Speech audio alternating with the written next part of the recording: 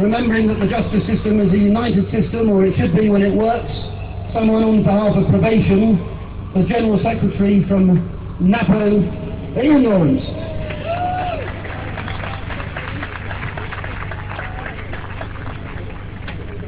My learned friends, comrades, who never thought I'd stand here, a boy from South London, addressing you in this way. But I've got a quick message to start with. It's our friend Black Rod over there. It is too noisy for you, sir. Do what most of them in there do. Put some earphones on and stop listening.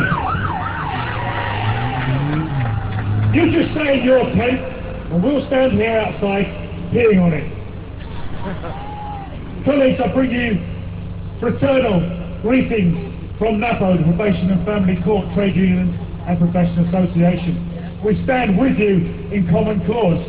Behind me are professional practitioners in the probation service. They have a term for someone like Chris Grayling. It's called repeat offender. And I'm proud to stand by them and with them in front of you today. So we have common cause. You'll know exactly what we are facing in our struggle. And our members have asked me to send you that message of solidarity, and I'm happy to do so.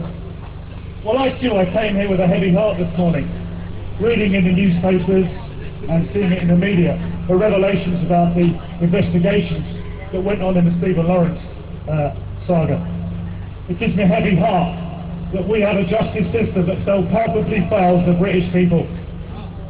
It gives me a heavy heart. We have a justice secretary that has so miserably failed the electorate. And the message is, he must go and soon.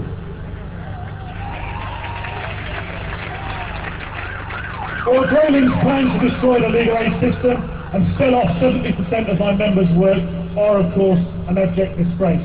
And that's why we are ramping up the campaign in the way that you are today.